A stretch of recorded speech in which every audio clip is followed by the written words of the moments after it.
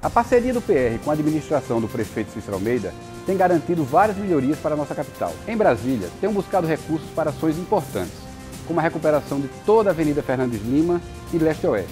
E vamos agora construir a Avenida Presidente Lula, que ligará o Benedito Bentes a Guaxuma. A nossa próxima obra será a construção de um viaduto na Polícia Rodoviária Federal, para desafogar o trânsito e garantir mais segurança e tranquilidade para motoristas e pedestres.